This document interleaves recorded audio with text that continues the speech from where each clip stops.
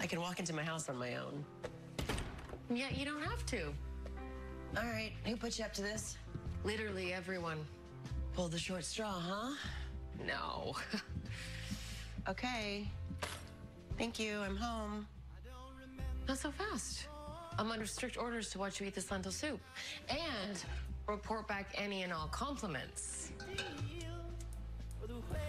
Oh, hey, I meant to ask you, did your friends at the Bureau ever identify that woman of mysterious origins? No, I mean, a whole team observing her, surveillance, wiretaps, drones, and she just disappears into the ether.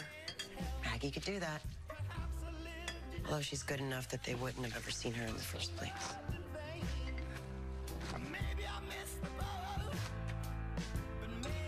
Oh my God.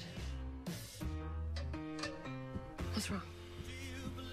I wasn't alone in the woods. There was someone else there. It was my mother.